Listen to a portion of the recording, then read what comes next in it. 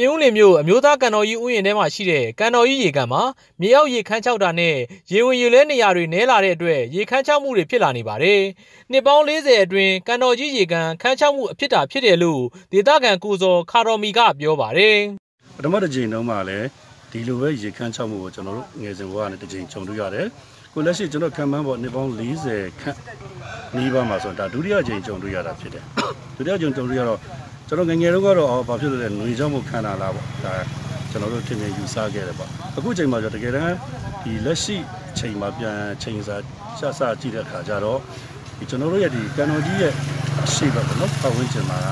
ဒီဥယျာဉ်ခြံမြေတွေဒါနိုင်ငံတော်ကနေချက်မှတ်ပေးထားတဲ့ဆိုတဲ့ဒီ coffee ဥယျာဉ်ခြံမြေတွေအများပြားပေါ်ထွက်လာတယ်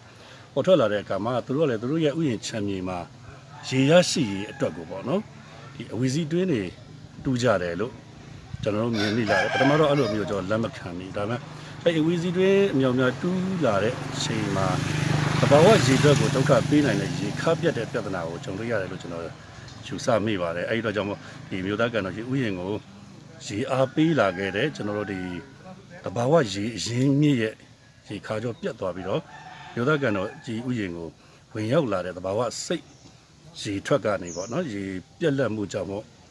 အဲဒီကန်ထဲကိုရေဆက်ပြီးတော့မှစီးဝင်နိုင်ခြင်းမရှိမရှိတော့ကြောင့်ယခုလိုချိန်မှာကျွန်တော်ရေခန့်ချောက်သွားတယ်လို့ကျွန်တော်ကတော့ထင်မြင်ယူဆမိပါတယ်ဗျကန်တော်လေးရေဝင်ရောက်တဲ့ပမာဏနည်းလာတဲ့အပြင်မိုးရွာသွန်းမှုနည်းပါလာတဲ့အတွက်အခုလိုရေခမ်းချောက်မှုတွေဖြစ်လာတာဖြစ်တယ်လို့အစိုးရရုခဗေဒဥယျာဉ်အုပ်ချုပ်ရေးမှူးဟောင်းဦးစောဝင်းကပြောပါတယ်တော့ကန်တော်လေး area ဒီအမြဲတမ်းပဲဘာဖြစ်နေရမလဲဆိုတော့ရေရှိနေရမယ်စိုးနေရမယ်ခြောက်နေရ ခုကန်တော်လေး area ဒီ6လာ6လာတဲ့အပြင်တစ်ကလူနေအိမ်နေရွေးဖြစ်နေအဲ့ကြတော့ကန်တော်လေး area ပြတ်သွားတယ်ဒီဒီနဲသွားတယ်နဲသွားတော့ကန်တော်ကြီးရကြီးကအောက်ကိုလုံးခဲလက်ဆင်းသွားမယ်အောက်ရည်ပဲတခါတည်းပါသွားအဲ့ဒါကန်တော်ကြီးကြီးနေတဲ့အကြောင်းအဲ့တော့အပေါ်ကရေမိုးရေနေတာလည်းပါတယ်နောက်တစ်ခုကကန်တော်လေးအဲရေခမ်းချောက်တာလည်းပါတယ် အခုလိုဖြစ်နေတာတွေအတွက်အားလုံးပူးပေါင်းပါဝင်လှုံ့ဆော်ကြဖို့လိုတယ်လို့လွတ်တော်ကိုယ်စားလှယ်ဦးအောင်မင်းကပြောပါတယ်ပတ်ဝန်းကျင်တွေပျက်စီးလာတယ်အာတောတောင်ကြီးတွေဆိုကျွန်တော်ဒါတွေအားလုံးကိုပြန်လဲပြီးတော့အကုန်လုံးကညီညွတ်ညံ့တဲ့ထိန်းသွားပြီးတော့လုပ်မယ်ဆိုခဲ့ရင်တော့ကျွန်တော်တို့ယာသီးတို့ပုံမှန်ပြန်လာမယ်ဒါလည်းတက်ဆိုင်ရာအစိုးရရနော်မူဝါဒနဲ့မှပါတယ်လို့အစိုးရကလည်းအင်တိုင်းအားတိုင်းလုပ်တယ်အင်တိုင်းအားတိုင်းမူဝါဒရှိတယ်လို့အောက်ကပြည်သူတွေအားလုံးကလည်းဒီ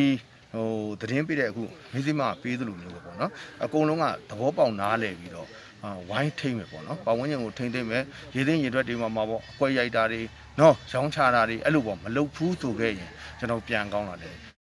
ကန်တော်ကြီးရေခမ်းချောက်ခြင်းမှာကန်တော်လေးရေဝင်နေလာတဲ့အတွက်ကြောင့်ဖြစ်ပါတယ်။အခုလိုကန်တော်လေးရေဝင်နေလာရင်နောက်ဆက်ဆွဲဆိုးကျိုးတွေအနေနဲ့ပိတ်ချင်းမြောင်ပွဲကောက်ရေတကွန်နဲ့စိုက်ပျိုးရေးရရှိမှုနည်းသွားမှာဖြစ်တယ်လို့သိရပါတယ်။ကျွန်တော်ကထက်မြက်ပါ။